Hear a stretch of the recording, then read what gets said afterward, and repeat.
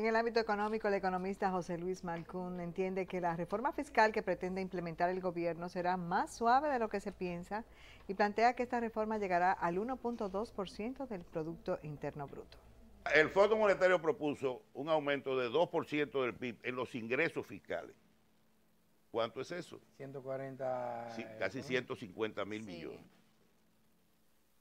Yo pienso que no va, a no va a llegar a ese nivel la reforma fiscal. Pienso que va a estar alrededor del 1, 1.2, 1.3% del PIB. El economista José Luis Malcún dijo este jueves que la tasa de interés actual en la República Dominicana, que se refleja en los préstamos de la banca múltiple, ha empezado a afectar la economía al indicar que la tasa de interés de referencia establecida por el Banco Central es de un 7%. El exgobernador del Banco Central dijo que el gobierno en lo que va de año ha desembolsado más de 180 mil millones de pesos de encaje legal a los bancos comerciales con una tasa de un 3% para préstamos con una tasa de un 9%.